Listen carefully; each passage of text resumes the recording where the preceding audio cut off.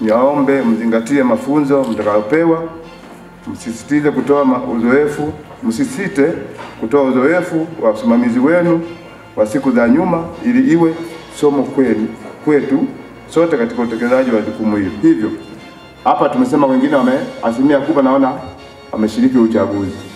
Kwa hiyo tunahitaji uzoefu wenu, changamoto zenu ambazo mko nazipata wakati mnaendesha hili zoezi la uchaguzi huko nyuma.